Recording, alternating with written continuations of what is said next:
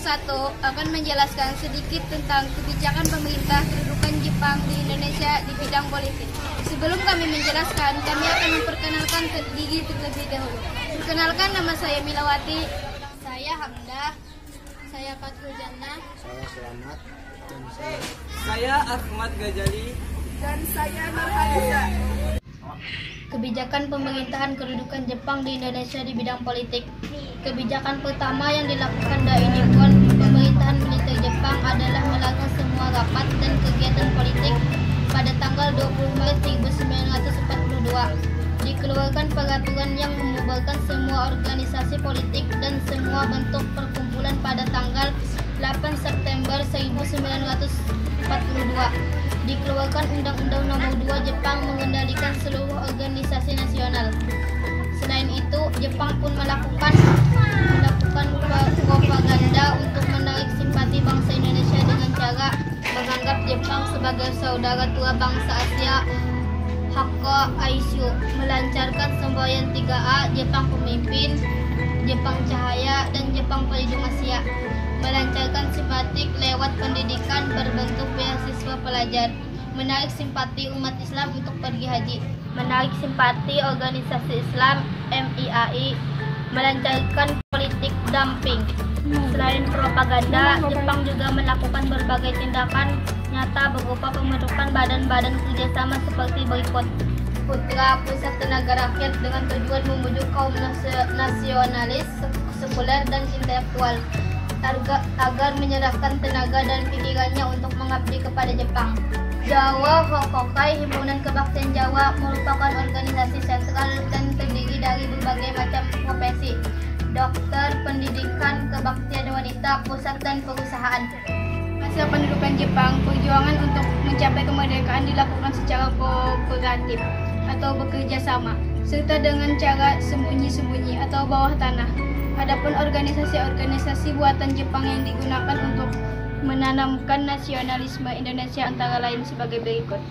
A. Gerakan 3A Gerakan 3A dibentuk pada bulan April 1942 dengan ketuanya adalah Mr. Samsudin Semboyan Gerakan 3A adalah satu Nippon Cahaya Asia, dua Nippon Pelindung Asia, dan tiga Nippon Pemimpin Asia.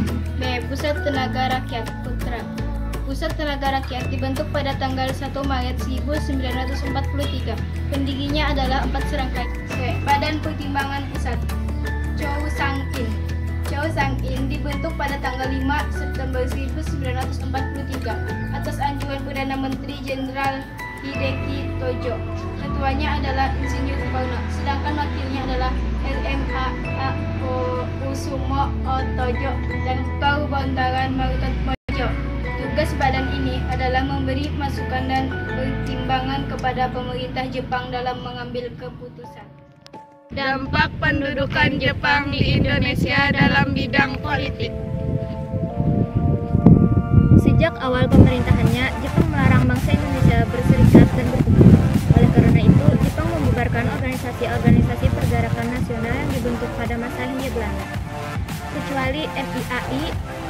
MIAI kemudian dibubarkan dan digantikan dengan Masyumi. Para tokoh pergerakan nasional pada masa pendudukan Jepang mengambil sikap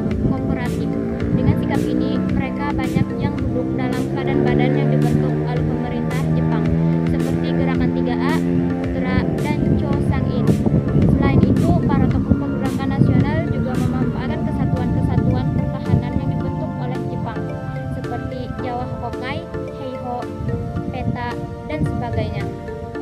Kebijaksanaan pemerintah Jepang tersebut bertujuan untuk menarik simpati dan mengarahkan rakyat Indonesia untuk membantu Jepang dalam perang melawan sekutu. Namun, kenyataannya dimanfaatkan oleh para tokoh pergerakan nasional, sehingga banyak memberikan keuntungan bagi pejuang bangsa Indonesia.